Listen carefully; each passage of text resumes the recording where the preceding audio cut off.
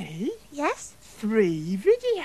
Hmm. One, Wah, two, wah, three. wah.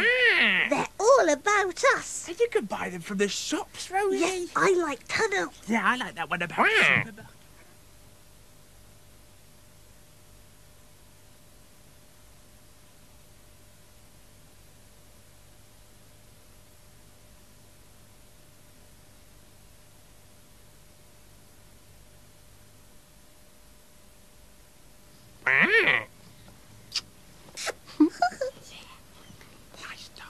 Yeah, Rosie and Jim hmm? dolls. Riding on Jack.